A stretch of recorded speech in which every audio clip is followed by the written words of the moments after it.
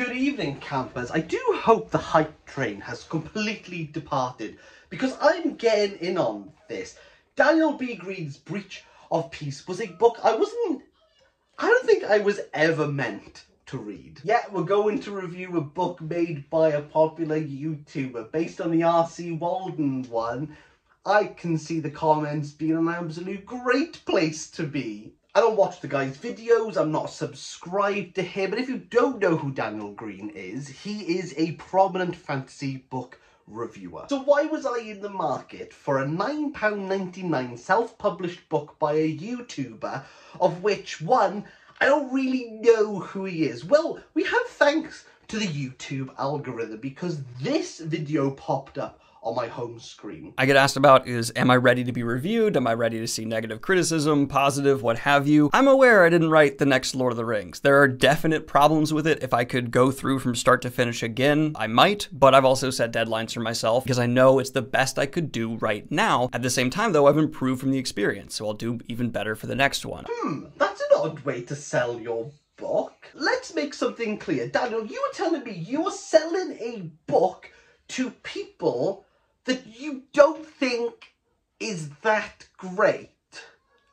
Do you think you maybe should have polished this book first? Now quote one of the main philosophers of our time, Imagine Dragons, second thing second, if you don't believe in your book, you should expect a reviewer like me to come along and drag this. And that is exactly what I am going to do. This book, Breach of Peace, is the prologue before Daniel Greene's possible six book series that he has in his mind. Greene's bread and butter is fantasy and one of the genres of literature that definitely leads into serializing. To name but a few authors, we have Pratchett, Hobb, Le Guin, Sanderson, and the most influential author on Greene, I would say, is Robert Jordan with his The Wheel of Time series. The purpose of Breach of Peace is more so for Greene, I would say, rather than for us. This sets up his universe of deified cops and some shenanigans that are to be get. Why would I give the criticism? This is more for Daniel than it is for the reader because for us, this book could have been three pages long and given us everything that we needed to. However, Greene has decided to stretch this out for a hundred pages. Within this novella, we're going to be a fly on the wall observing a crime scene that Khlid, the woman, here is going to try and solve. I'm actually unsure of how to pronounce that name, but it's very similar to DJ Khaled, but it's not just another one, just this one character. And it's just this one book at the moment. It, did, it didn't need to exist. Khlid enters a scene that feels very much ripped out of The Alienist, but nevertheless we have a character who has personality. Well, she doesn't have personality. She just has a penchant for cigarettes and never knows that she has another one in her hand. A character trait extremely similar to Martin Amis's Money, where the character basically tells us that if he doesn't tell you that he's smoking, know that he's smoking.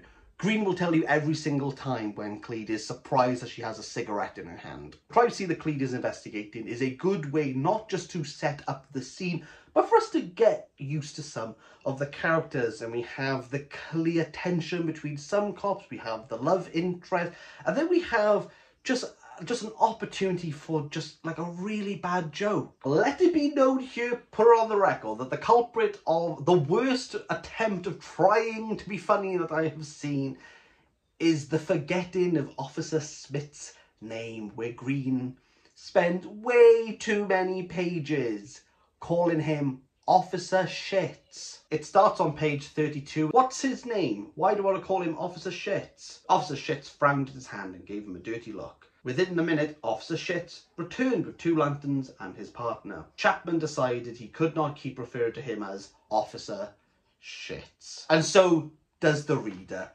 Greene, so does the reader. You probably didn't notice something that utterly frustrated me within those four sentences that I read out to you.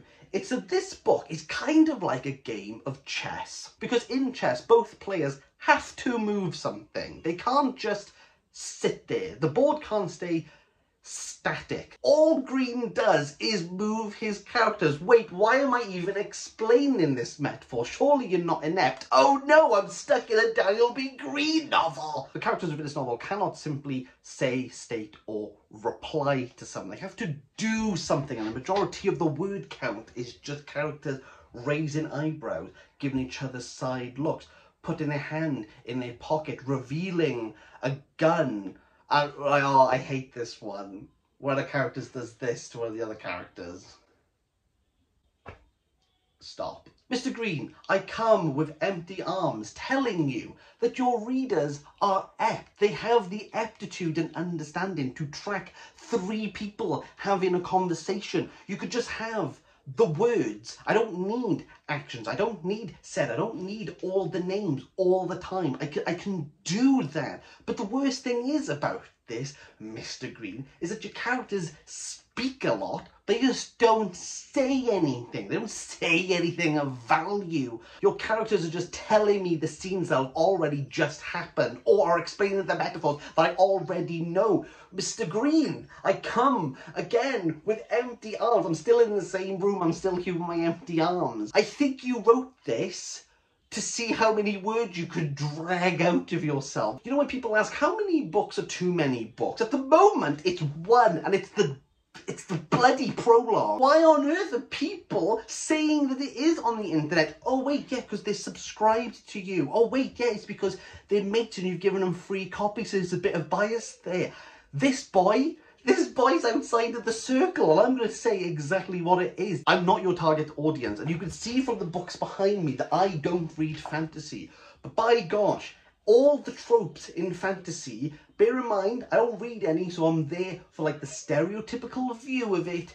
It's all in here. And how dare you give me the climatic scene and then like absolutely like shoved down my throat pathetic fallacy that there's thunder and lightning and the rain's there. But don't worry about it, you won't forget it because the thunder will be booming in the background because you probably wouldn't be able to keep track of any of this, said Khlid as she opens her umbrella to make sure her cigarette doesn't. Oh wait, she has a cigarette in her hand. It's not been the 15th time you've told me. This is a waste of money and you sold it to your audience no knowing that it wasn't great. And you know what? I don't like that. I don't like that. You have a large following, so we know that people were going to buy your book because of who you are.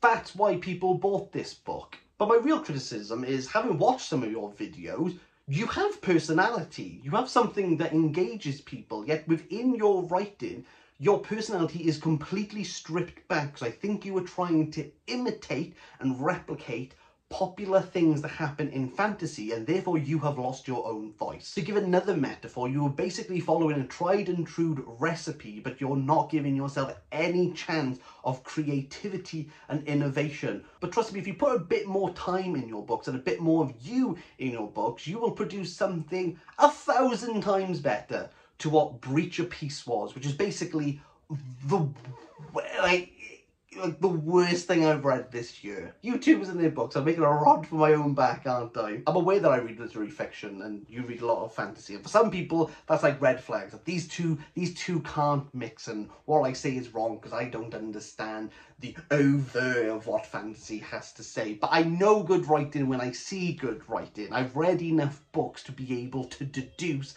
what good and what's not. And I, I promise you now, spend more time on your books rather than joking around with your audience. Actually produce something, the one you're proud of, and two, you actually think will knock the socks off of people. Breach of Peace, you get the coveted zero out of 10. A book that doesn't need to exist. You will get the exact same emotional impact if you Google fantasy tropes and how does Arthur Conan Doyle vaguely produce a story? Huzzah, this is the result you get. And now we get to look forward to possibly six books that could possibly be the equivalent of one book. Maybe two if I'm being optimistic. But Mr. Greene, I'm going to keep buying your books. I'm going to keep reviewing them. Have a good day.